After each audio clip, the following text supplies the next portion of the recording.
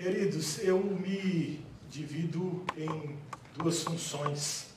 É, eu sou missionário de uma organização que o nome em inglês dela é Abraço.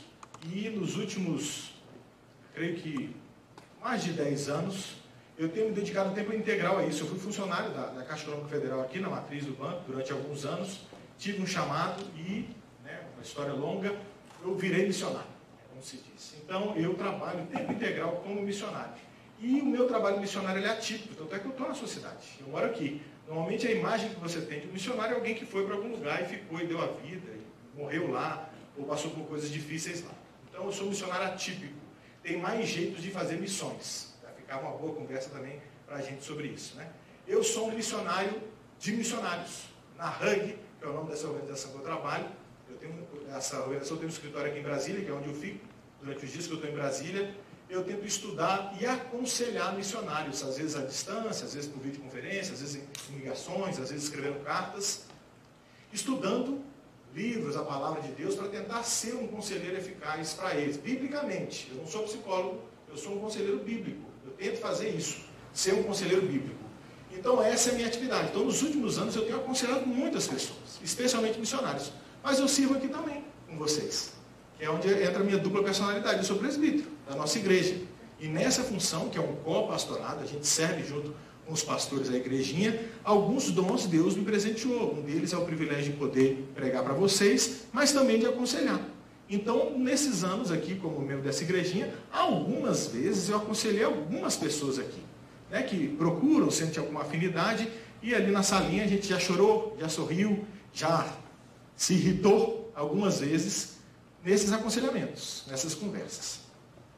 Nos últimos tempos, é, dois episódios me chamaram muita atenção em aconselhamentos de ovelhinhas dessa igreja, que me trouxeram ao coração quando os nossos pastores haviam me convidado para nessa quarta-feira estar com vocês, esse tema ficou no meu coração.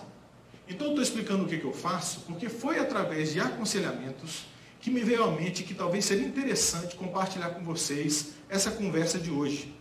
Porque eu acho que ela é uma conversa para a gente, especialmente para quarta-feira para os crentes, para a nossa família da fé, para a igreja presbiteriana do Guará 2. Mas Deus fala com todo mundo, né? sem dúvida nenhuma. Então, uma conversa sobre uma vida cristã, um jeito nosso, de, uma forma que eu acho que a gente poderia viver melhor como igrejinha presbiteriana do Guará 2. E eu queria compartilhar isso com vocês. É uma passagem longa que eu vou ler com vocês, que é também um pouco atípico, eu prefiro textos menores, né? Mas eu, a minha intenção é conversar com vocês como se eu estivesse aconselhando alguém lá no escritório, no gabinete. Passando por essa passagem que é o texto que Deus me trouxe à mente para pastorear alguns corações. Então eu faço aqui como se fosse um aconselhamento público, né? O que seria uma conversa sozinha, aqui está sendo uma conversa pública.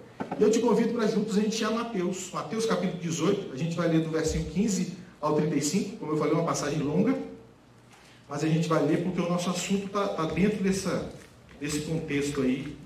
E eu queria ver se vocês concordam comigo nessa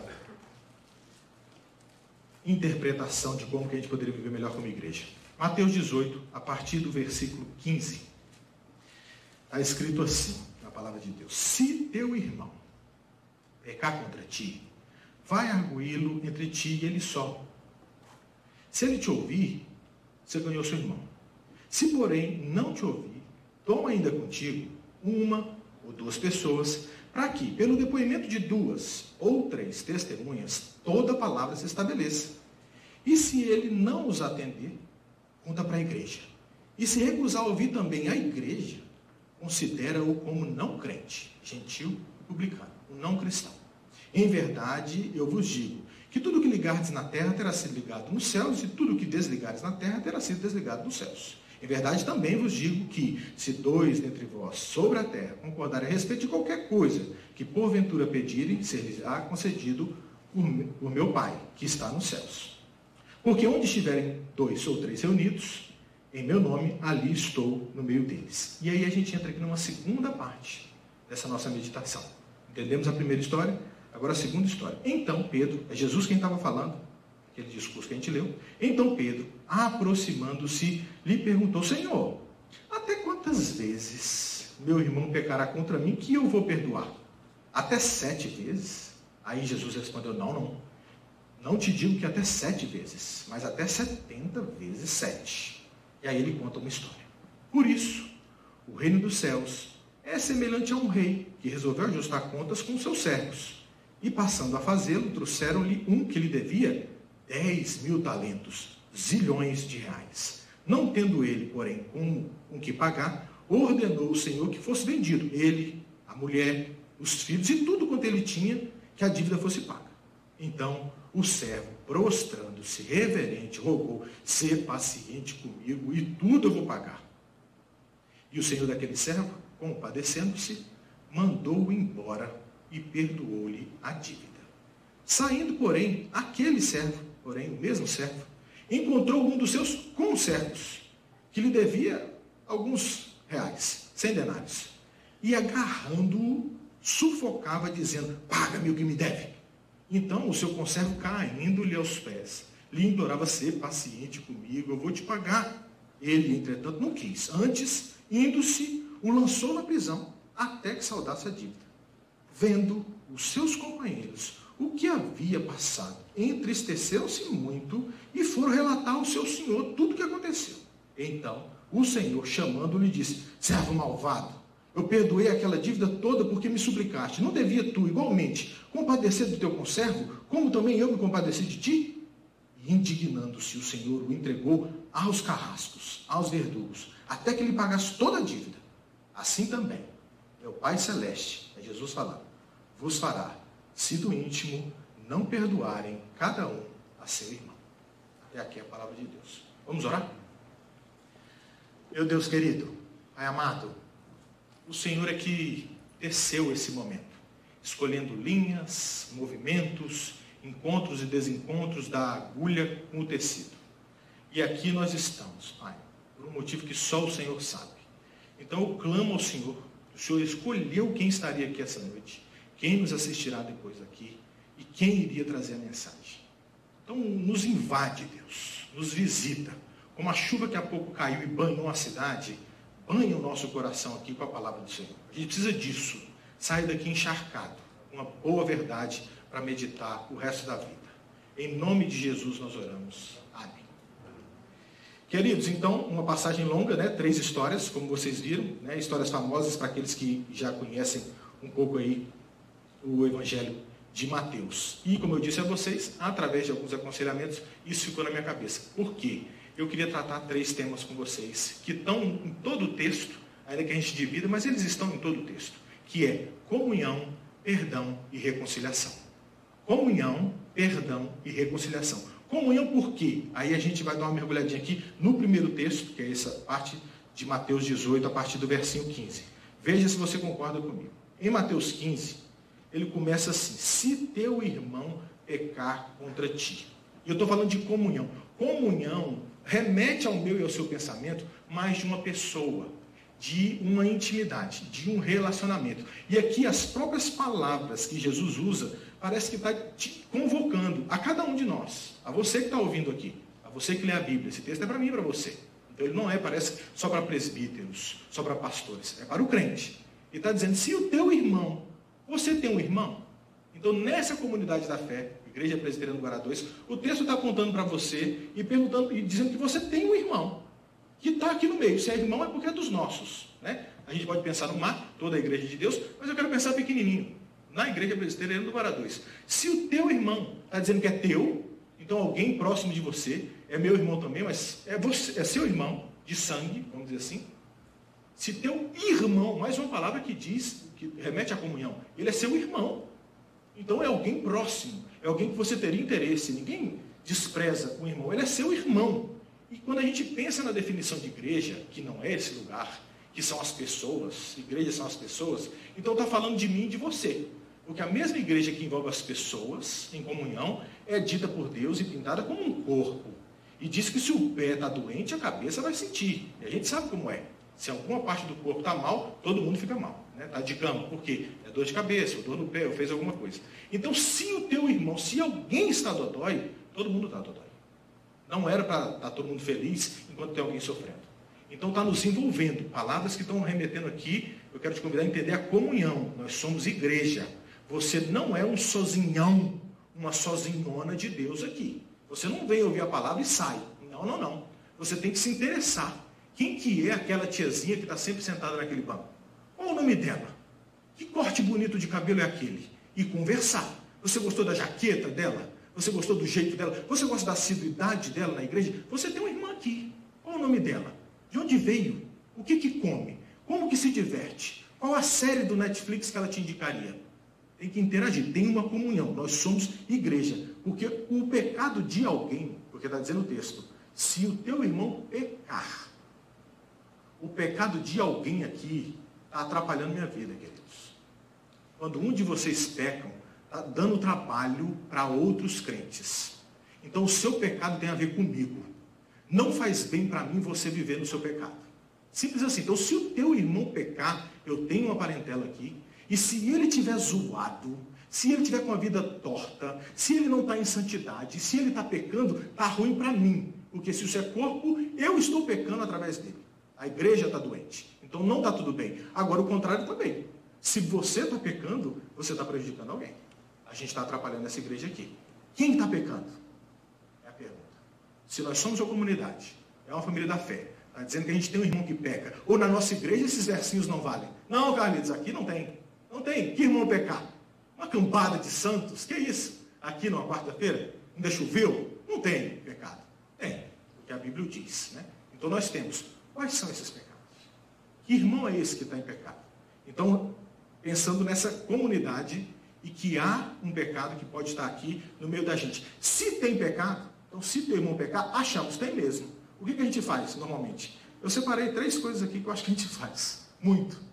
Isso é o que a gente faz. Não o que a gente deveria fazer. Eu chamei de fofocar, ignorar e magoar.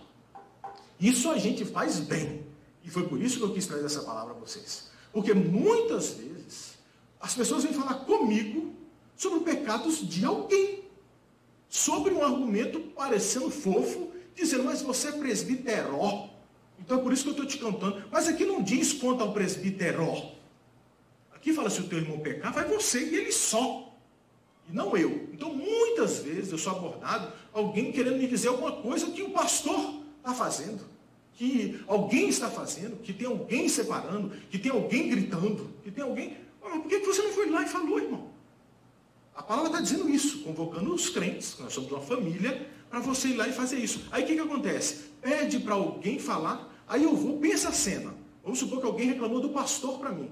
Aí vem alguém e reclama para mim, não fala para ele, porque ele é pastor. Como que eu vou falar para ele? Ele é crente, irmão. Ele é pastor dessa igreja. Você pode falar com qualquer um, não tem patente aqui. Aqui os chamados são diferentes. Chamaram a gente para isso aqui. A gente é crente igual vocês, pecadores igual vocês. Então, se alguém pecou, você não vai falar para alguém até ter falado com a pessoa. Tem um comentarista que falou isso com palavras melhores, mais, melhor encaixadas, né? Que você não fala com ninguém até ter falado com esse alguém. Aí você e ele só. Você não vai fofocar. Imagina se no jeito de Deus fosse assim, na Trindade. Jesus, Deus Pai, Filho Espírito Santo. Aí Deus vê na sua Trindade o pecado aqui na terra como viu. Aí Jesus vira para o Espírito Santo e para Deus fala: Você viu? Que cambada de pecador miserável. A Trindade fofocando lá em cima. Eles não fizeram isso. O Logo se fez carne, habitou entre nós, vem o Espírito em palavra e nos convence do pecado de Jesus. Está apontando, não está me batendo aqui, te batendo a palavra? Isso não é Deus nos confrontando? Vindo até mim e você? Essa não é a natureza do Evangelho? Ele não fez assim? A gente faz o quê? A gente fofoca. É o caminho mais curto. Ele comenta com alguém. Motivo de oração. Está sabendo que fulano está separando? Não é motivo de oração, isso é fofoca. Você foi lá no fulano que está separando? E perguntou por que está separando? Então é esse o primeiro estilo, não é fofocar. Ou então a gente faz o quê? Ignorar. Não mexe. Esquece. Também numa áurea boa. Tipo, não, deixa, parece né, fofo. Não, Deixa, deixa. Ignorar também não é a solução. Você perde, você não dá o direito da ovelha de ser pastoreada. Porque às vezes a pessoa está pecando e não sabe. Está achando que está tudo bem. E você não vai ajudá-la, vai dizer, não está tudo bem não. Não está tudo bem não. Você não está vendo, mas está sujo. Está tudo sujo. Limpa seu cabelo aí, está sujo. Você não está vendo? Ah, estava. Eu nem vi. Então se você ignora, vai ficar ele sujo, achando que está limpo. E não está. Ignorar. Ou então magoar. Porque aqui esse texto ele tem esse negócio do colchete que fala dessa, parece que não estava no original, ou estava, mas eu acho que, por isso que eu quis ler tudo, porque se aqui tem dúvida que é um pecado contra você, me parece um pecado mais geral, eu identificar, eu posso ir, mas na frente vai ter um pecado contra você mesmo, né? Mas aqui esse de magoar é se fosse contra você. Muitas vezes a gente faz isso também, eu já escutei muitas vezes também aconselhamento, a pessoa ficar magoada. E não fala para quem magoou, que está magoado. Então essas reações de fofocar, de ignorar ou de ficar magoado, isso vai te matar. Isso não é o jeito de crente, isso não é o jeito da Bíblia, isso não é o jeito da nossa igreja continuar. E a nossa igreja vive uma fase melhor, queridos. Quem tem algum discernimento, há alguma coisa acontecendo na nossa igreja. Se você não está percebendo, talvez é porque você está num pecado que alguém precisa te mandar acordar. As coisas estão acontecendo no nosso meio. Em tempo de pandemia, nossa igreja passou a arrecadar mais e a receber membros, sem perdas. Isso é magnífico. São números que mostram a realidade, números práticos que mostram a realidade espiritual. Uma conversão causa pipoco no céu. Isso está acontecendo aqui, na sua igreja, no nosso bairro, aqui em Brasília. Glória a Deus. É o meu negócio aqui, o Penteca sobe agora. Era um glória a Deus. Glória a Deus. Porque a coisa está acontecendo. Então, se a gente não nota isso, né? A nossa reação não é essa, não está tudo bem. Como que é o processo? Que muitos de vocês já ouviram algumas vezes. Ele fala no texto. Eu chamei de isoladamente, comunitariamente, publicamente. Isoladamente porque vai você e ele só e tenta. Não está tudo bem. Você viu? Não está tudo bem. Tal. Isoladamente. Não deu certo. Lu, vem aqui comigo. Pastor, está acontecendo isso e isso. Aí eu divido a notícia. Vamos lá conversar com ela? Vem cá, vamos lá conversar com ela. Aí vem, comunitariamente. Não, não, a pessoa está resoluta lá, ó. Quanto mais. Não, da, da, daquele jeito. Não vem. Vamos ter que contar a igreja, publicamente, na representação dos presbíteros, é quando pipoca uma disciplina pública aqui. Porque normalmente, quando chega para a gente, já não tem jeito, tá? A gente tenta acudir. Normalmente, quando chega, a fofoca já rolava, já chegou estragado. Normalmente, não tem muita coisa que a gente fazer. Quando vem para conselho, caso que é um caso de disciplina, alguma coisa, normalmente é reversível. É para chancelar uma disciplina, tentar confrontar o irmão e ver se volta. Mas normalmente já era. Era para ter feito antes, né? Então chega nesse publicamente. No isoladamente, aquilo que a gente comentou, não falar com ninguém, até falar com a pessoa, eu vou falar aqui rapidamente a forma. Né? Um pouquinho como que a gente chega. Aí o texto diz para você ir arguí-lo. Me parece que o sentido dessa abordagem é uma abordagem que você, é, você se aproxima com o benefício da dúvida. Porque às vezes você pode estar enxergando alguma coisa que não é verdade. Então você não chega com o pezão na porta. Pecador miserável, está fazendo isso, está fazendo aquilo. Não é assim. Você chega arguindo é com o benefício da dúvida. Uma arguição, normalmente, você está fazendo perguntas que conferem um conhecimento de alguém. Deixa eu arguir aqui, fazer uma arguição, arguição oral. Né? Então você vai arguir perguntando, rapaz, não seria esquisito um crente que confessou Jesus como Senhor e Salvador, que foi recebido na frente da igreja, e contumazmente, repetidamente, não tendo nenhum motivo especial, não está frequentando a igreja? Compensa fazer uma ligação e perguntar para esse irmão se está tudo bem. Você está precisando de alguma coisa? O que, que pode estar acontecendo? Você ficou tetraplégico? O que, que aconteceu? O benefício da dúvida. É uma abordagem, então, calma, de leve, amorosa, com o benefício da dúvida. Há um texto que ajuda esse, como que a gente faz essa abordagem, que é o de Gálatas, que ele faz duas ilustrações que me ajudam. Eu não, eu não consigo obedecer isso aqui. Eu sou muito mais grosseiro do que amoroso ainda. Então, eu estou pelejando. Mas é um texto que eu luto com ele. Gálatas 6 mostra que o jeito de você chegar é em amor. Gálatas 6, 1. Se teu irmão, teu irmão pecar, ele fala do jeitinho de você chegar. É em amor. E as ilustrações que estão por trás disso, eu chamo de medicinal e artesanal. Medicinal porque diz que é como se fosse um osso que está quebrado e você vai colocá-lo no lugar. Pensa tanto que dói. Né? Então você tem que chegar com cuidado, com amor. Vai doer, ou seja, há pecado, tem alguma coisa a ser consertada na vida da pessoa, só que eu faço em amor, eu não chego esculhambando o osso, pode quebrar mais, machucar mais.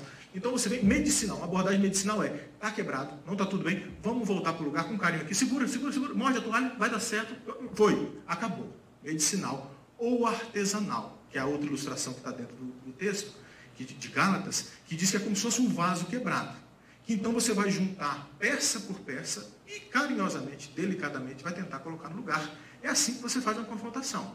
Em amor, tentando resolver. Então, essa aproximação isolada, individual, você e ele, é, você pode estar errado, benefício da dúvida, pode não ser o que está aparecendo, e com muito amor, muito jeitinho, tentando fazer essa abordagem isoladamente. Aí então, comunitariamente, e aqui tem algumas coisas que me chamam a atenção, né?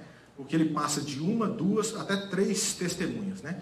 E me chama isso a atenção por uma coisa que eu creio e confesso porque eu creio que está na Bíblia. Toda decisão ou interpretação de um homem só, ela é perigosa. Eu fui católico durante muitos anos. Então o papado, para mim, ele é antibíblico. Né? Fora qualquer discussão que a gente possa ter, o papado, para mim, é antibíblico. Por quê? Porque eu e você somos homens e mulheres. Você já errou algumas vezes coisas que você tinha certeza que você estava certo. E você errou. Na cronologia do tempo, você falou, cara, eu estava errada. Eu estava errada e achava que estava super certa. Então, o Papa não é infalível, como confessa a Igreja Romana. Então, um cara sozinho tem o peso de escrever voz de Deus, eu creio que as encíclicas dele têm peso de voz de Deus, é um negócio que não tem lógica. Entendeu? Uma pessoa só ser dono da verdade. Aplicando ao nosso caso, se você vai isoladamente tentar confrontar uma pessoa em comunhão, essa comunhão amorosa, você pode estar errado.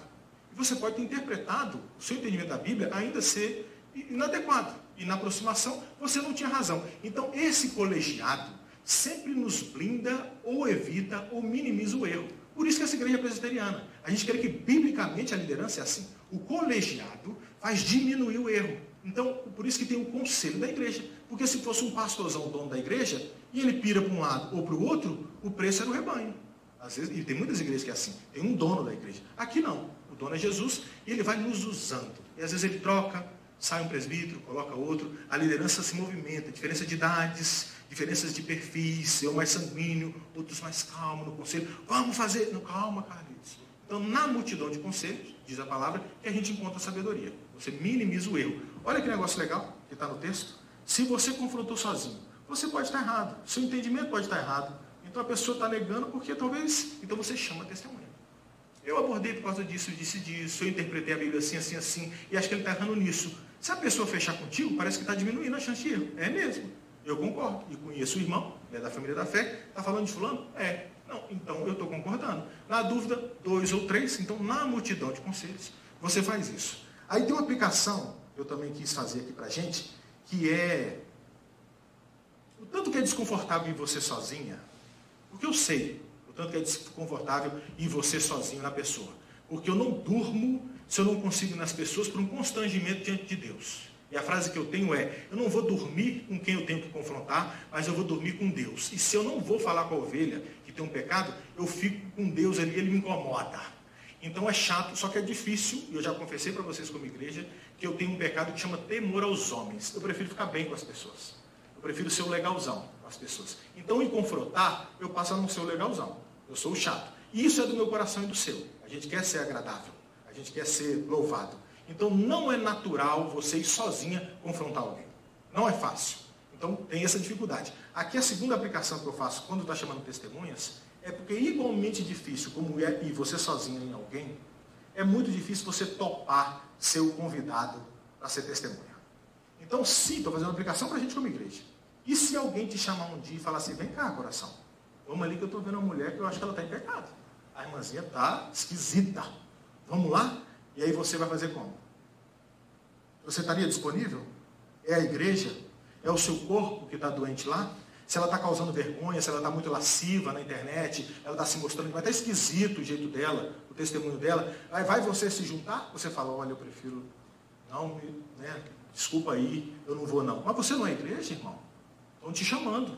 Alguém te elegeu por algum motivo. Você é do ciclo de amizade, ou você inspira confiança, ou você tem maturidade bíblica. Está chamando, dois ou três. Você estaria disponível para ser uma dessas testemunhas? Essa é a minha pergunta. Eu estou falando de comunhão, tá vendo? Que é a gente se envolver. Está ficando chato ser crente, não tá? Eu vim só domingo, dar glória a Deus, louvosaço, e ouvir uma palavra boa para o seu coração, é mole. Ser igreja é outro preço. Ser crente é isso aí. Não é vida fácil. É desse jeito. Te envolve. Você tem que saber da pessoa. Você tem que ir lá, botar. O mundo diz não bota a colher no assunto do outro. Aqui põe. E chama mais dois ou três para pôr. Junto. Porque o assunto ruim do outro fica ruim para mim também. Essa, então, comuni, comunitário, né? não só isoladamente, mas comunitariamente. E por fim, publicamente. Que desgraçaram o sentido de disciplina bíblica, não sei porquê, que parece que é conselho malvado é, batendo em ovelha. Isso é o Satanás que fez entender assim. o sentido dessa abordagem, por isso que eu não quis chamar nem de confrontação, mas de comunhão, isso é família, essa é igreja. Essa abordagem de multidão, de igreja, é a ilustração que eu sempre ficou na minha cabeça, e eu acho que eu devo ter visto em algum lugar. É como se a ovelhinha, o irmão, estivesse na areia movediça. Aquela que quanto ele mais se mexe, mais ele afunda. E ele não dá conta de sair. Então você viu o pecado e você tenta sozinho ajudar. Vai você e ele só. E não sai, irmão. E o risco é você cair junto com ele. Aí o que, que você faz? Ajuda aqui. Dois ou três vêm e puxam, jogam um tronco e falam, vamos puxar nós três, no três, um, dois, três, e, e os três não dão conta de tirar a ovelhinha. E ela está afundando, e já está no pescoço. Chama todo mundo lá de casa, que é a família da fé, que é a igreja. Esse é o sentido. Quando o conselho, que, que designou uma disciplina, e é dito publicamente para vocês que alguém foi disciplinado por qualquer motivo que seja, o que que causa na igreja? Fofoca. O povo começa, o que será que ela fez? Transou antes do casamento. Certeza. Traiu o marido. Acabou o casamento. Que são as disciplinas que estouram na igreja. O que está acontecendo? Aí você fofoca. Era hora de vamos todo mundo ajudar, porque com a igreja toda a gente dá conta de tirar. Ele daria uma movediça. É todo mundo junto, três. Uma igreja inteira. Não dá conta de tirar uma pessoa. Daria movediça? Ah, dá. Se não der, é porque não era de Deus, diz o texto. E Deus tira. É o milagre de Deus quando fala que você declara como não crente, ainda assim é uma última instância do amor. É contar para a pessoa, você está perdidão, vai. Você não é crente mais não, sai daqui. Você tira. A gente não está mandando ninguém para o inferno. A gente está obedecendo a Bíblia. Com muito amor. Dizendo, não acha que você é crente, você não é. Sai daqui. Você não é do nosso meio. Isso pode fazer cair a ficha. Fala, meu Deus. Porque o darei movediça, nesse nível, ele não quer segurar o tronco. Ele fala, não precisa jogar corda, eu não vou pegar. Eu não estou afundando. Está tudo bem, eu estou nadando. Está tudo bem. Eu estou na areia da praia. Ele está afundando. Então, essa pública é todo mundo ajudar. Quando comunica aqui uma disciplina, deveria instigar você a descobrir o telefone do irmão, mesmo que você nunca falou com ele, e se apresentar. Querido, meu nome é Carlitos, eu sou da IPG2, você não deve me conhecer, mas eu fiquei sabendo, seu nome foi dito lá na frente, em disciplina. Eu consigo imaginar pelo que você está passando, porque se foi disciplinado, sentou no conselho, há alguma amabilidade em receber exortação, amor e carinho. Pode ser que ele volte. Pode ser que já está resoluto a voltar. Né? Então você fala, olha, eu estou aqui. Se você precisar, o seu pecado é o meu. Eu não quero nem saber o que você fez. Mas eu queria tomar um café com você. Então não é aquele se precisar me liga, não. Você marca, intencionalmente. Vamos tomar um café juntos? Vamos ali. Aquele negocinho do café, aquele virado para o Guaraum, França Café.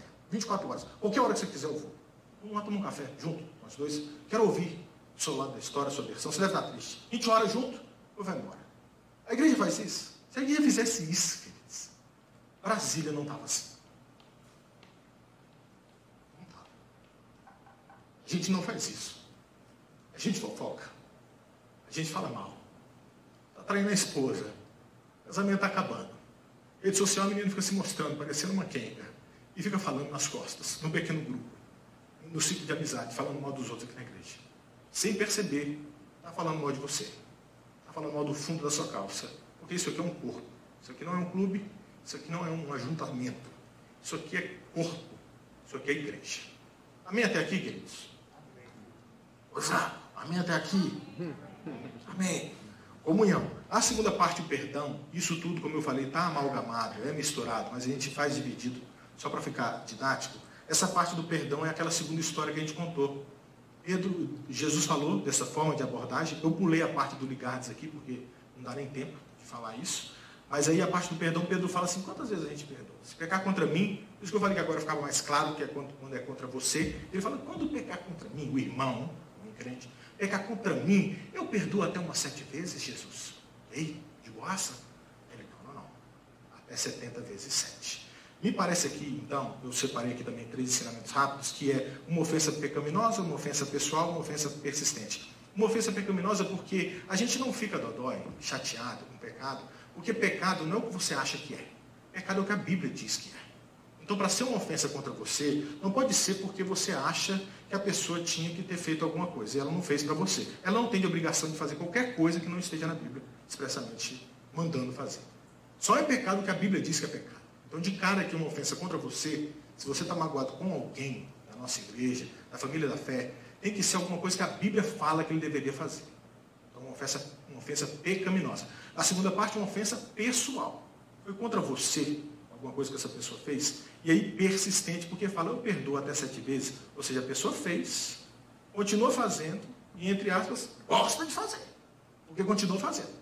E aí Pedro diz, que eu acho que aqui também vai mostrando a minha e a sua índole. Quantas vezes que eu perdoo? Parece que nessa pergunta está o desejo de não perdoar. Né? Porque quem naturalmente nada, faz natação, joga, ele não pergunta quantas vezes tem que jogar. Ele tem prazer em jogar, ele tem prazer em caminhar, ele tem prazer em escrever, em ler. Quantas páginas eu tenho que ler? Quem gosta de ler não pergunta isso. Então me parece que é quando a nossa natureza antiga balança entre a nova e o natural é a gente não perdoar. Senão não estava na Bíblia. O normal é a gente não perdoar, fofocar, magoar e ficar chateado com quem machucou a gente. Mas aqui, então, o contrário. Tem que perdoar. A nova natureza está aí dentro. A gente foi feito para perdoar. É do jeito de crente perdoar. Perdoar como? Mais uma vez. Insistentemente. Quantas vezes? Aí ele apelou. Todas as vezes. Porque o 7, 70 vezes 7 é o jeito de Deus, né? O 7 é o número perfeito dele. Ele sempre gostou de usar assim na Bíblia. O 7 é para falar tudão, inteiro, pleno. Então 70, ele pergunta 7, Pedro pergunta, né? 7. Se, se eu cumprir, aí eu paro de perdoar. Manda essa mulher embora daqui. Acaba o casamento. Sete vezes eu aguentei. Aí não dá. 70 vezes 7. Perdoa sempre. Vai perdoando. E perdoa mais. Eu tenho uma ilustração pessoal que ela é difícil de ser ouvida, fortíssima de ser dita e dificílima de ser vivida. Mas eu continuo usando ela para encorajar o meu próprio coração e o meu cérebro a ser crente. Eu falei para Fernanda algumas vezes e 300 vezes em aula aqui de EBD e estou repetindo aqui para vocês hoje. O dia que a Fernanda me trair, ela está perdoada. Fora de igreja, fora de uma mente bíblica, isso é uma, um tiro na cabeça. Isso é uma licença para pecar. Porque o nosso constrangimento é o jeito de Jesus. Como que ele te perdoa? Não é você uma esposa bem traidora de Jesus? Dá vontade de falar coisas pesadas para você aqui. Porque a gente é bem adúltera, como noiva de Jesus. A gente vive pecando. E ele fez a conta? Você já me traiu uma vez. Você está me traindo de novo. Jesus nunca jogou na sua cara quantas vezes você fez. Não é o jeito dele te perdoar. E ele está te perdoando até hoje. Quanto mais anos você tem aqui, irmã, mais perdões você tem nas costas. Então esse é o jeito de Jesus. Aí vai você estipular para a esposa nessa hora não. Esse tipo de pecado não. Essa feiura não. De novo, não. Do jeito de Jesus aqui que ele falou, não é assim. Tem um versinho que eu separei aqui, que é o é de Pedro, que diz assim: Acima de tudo, porém, tende amor intenso uns para com os outros, porque o amor cobre multidão de pecados. É assim que é para dormir com ele com Deus, né? botar no peito e sair, pronto para perdoar. O amor encobre multidão de pecados. Jesus é o amor que encobriu a sua e a minha multidão de pecados. O tempo está corrido, mas eu poderia ler a história. Eu vou ler. Eu vou ler a história de uma mulher, ela é muito famosa, não sei se vocês conhecem, chamada Corey, Corey Ten Boom. Ela é muito famosa. Né? Corey Ten Boom, ela é crente, cristã, viveu na época do nazismo. Ela morava na Holanda. E uma família cristã. Ela e a irmã dela, Betsy, filha de uma família holandesa cristã, na época do nazismo, fizeram um quartinho, um esquema, um refúgio dentro da casa delas, lá na Holanda, para abrigar gente que queria fugir do nazismo, daquela perseguição na Segunda Guerra Mundial. Então elas tinham esse lugar, ela ficou muito famosa, ela conseguiu né, sair disso tudo, virou palestrante, ela contava o testemunho dela em vários lugares, né? E o livro que ela escreveu chama-se Refúgio Secreto. Refúgio Secreto é o livro que ela escreveu, vale a pena ler. E eu poderia contar a história, mas eu vou ler para vocês o relato dela do que, que ela vivenciou pensando nessa história de perdão. Em Munique, onde eu estava pregando em 1947, um homem calvo, alto, veio em minha direção com as mãos no bolso após minha palestra. Num instante, eu estava enxergando, sobretudo, o chapéu no outro o uniforme nazista, com a caveira e as tíbias cruzadas. Minhas lembranças do campo de concentração voltaram com rapidez. As luminárias do teto, uma pilha de vestidos e sapatos no centro, vi passar minha irmã em minha frente, costelas quase furando o fino pergaminho da sua pele. E aqui eu preciso adiantar para vocês, a irmã dela foi morta no campo de concentração, Betsy, presas por termos abrigado pessoas em nossa casa por causa da ocupação nazista na Holanda durante a Segunda Guerra. E esse fora o guarda do campo de concentração para onde fomos enviadas.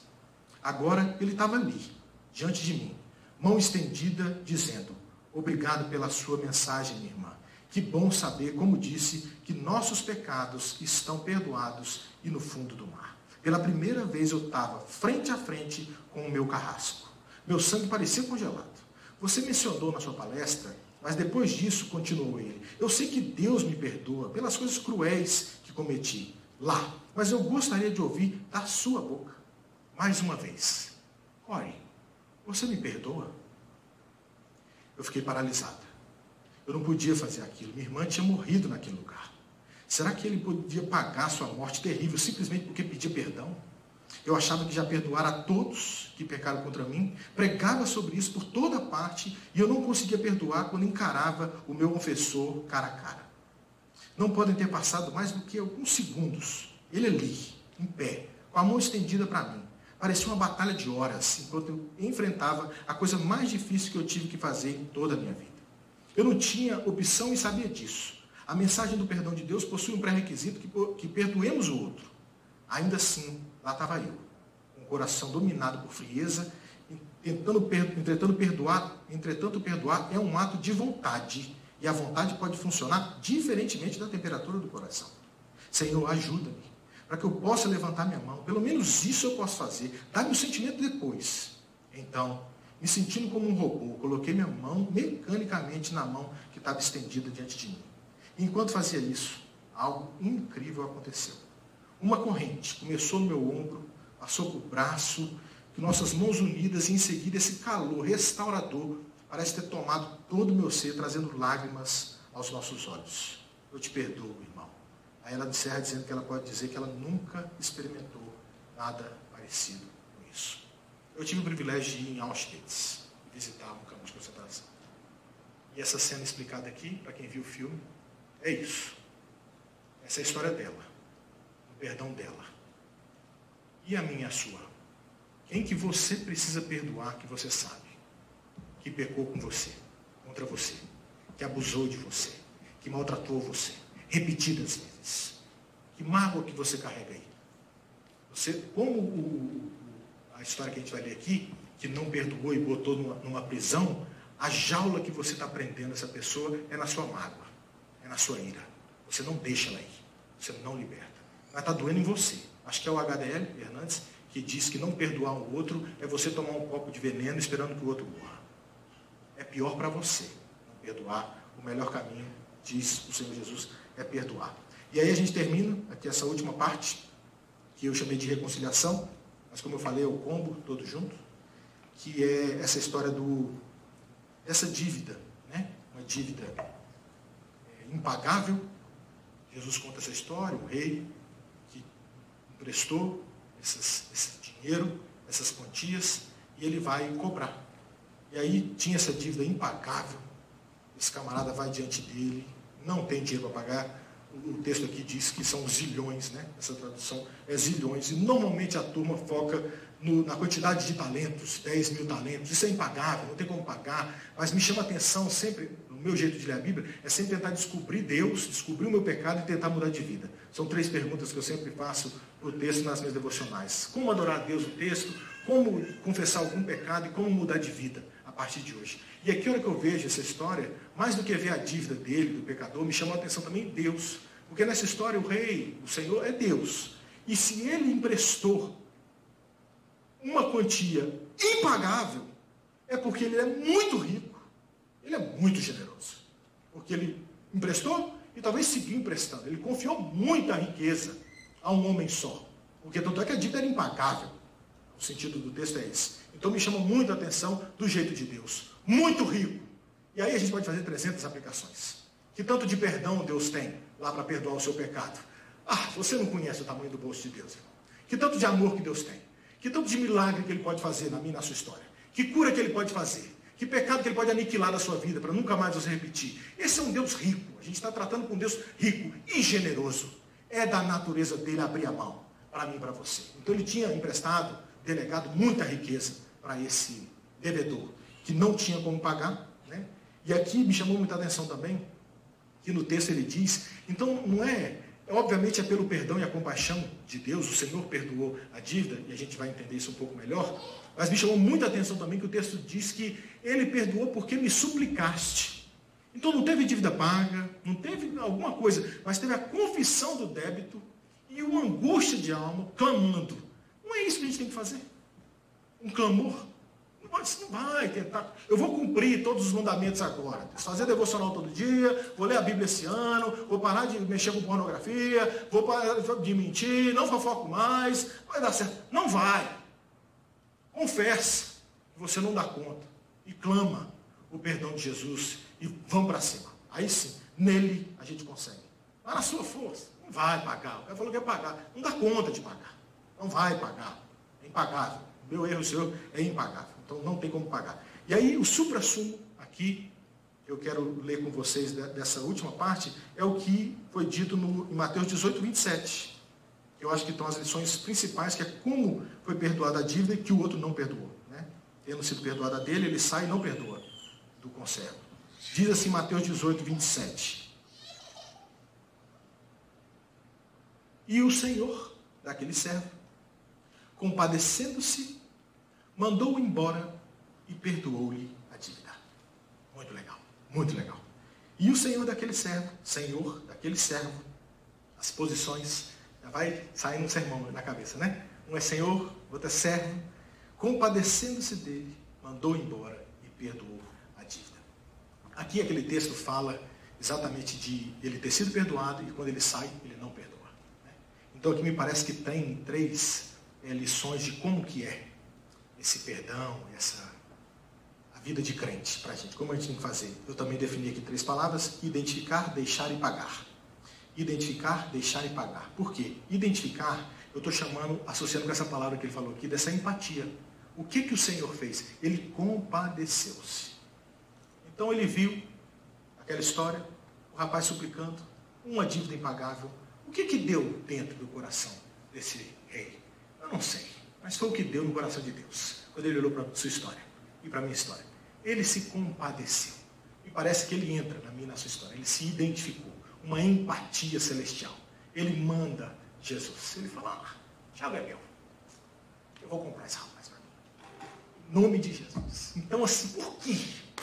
É do coração de Deus, é de lá, não tem explicação, não é mérito, não é nada, não foi porque suplicou, a despeito de ter suplicado, não é porque suplica? Mas o caminho é suplicar, ele se compadeceu. Então, essa identificação, se aplicar a mim a você, porque o outro servo não fez isso, por que, que eu e você a gente não tem compaixão com o outro?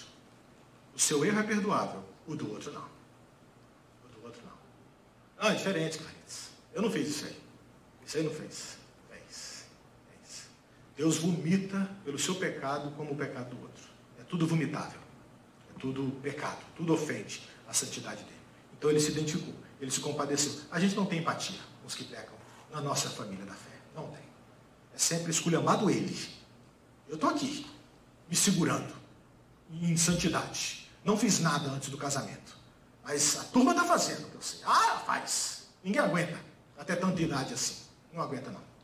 Foi lá perguntar se fez? Se está em santidade? Por que não casa logo? O que está esperando? Entendeu? A gente não tem essa empatia. Aqui tem essa compaixão. Essa identificação que eu chamei. Aí depois deixar, que diz o verso 27, compadecendo, mandou embora. A gente não faz isso. Você enjaula, não perdoa, magoa e fica lembrando. O marido para a esposa, o amigo para a esposa, mas se não fala, fica pensando, mas esse aí já traiu. Ele já traiu. Isso aí está na igreja, mas eu te contar, é que você é novato aqui.